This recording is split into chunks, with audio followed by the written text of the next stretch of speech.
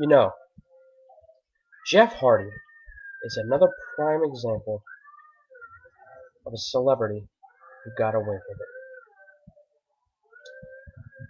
Jeff Hardy, ladies and gentlemen, was sentenced to 15 years in prison. He is now back out with his stupid alien mask parading TNA. It's bullshit.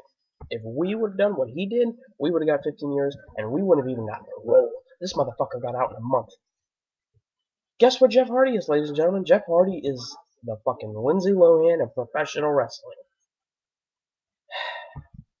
look, look, look, look. I'm, I'm a Hardy fan. All right, I'm a big Hardy fan. Nothing against Matt Hardy. He's doing the better, what's right to better himself. Nothing against Jeff Hardy. He's doing what's right to better himself. However, it's the principle of the whole matter.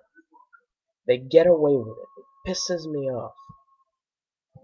Man, man, you know, I, I got away with it, man, and I'm gonna go back to TNA. I'm gonna do what's right, man. I'm in rehab. I mean, it's ridiculous. What are your thoughts on this bullshit? I mean, nothing against Jeff Hardy. Glad you got out, buddy. Really am. But you were supposed to do 15 years and you did a month. Spit in the face of your cause.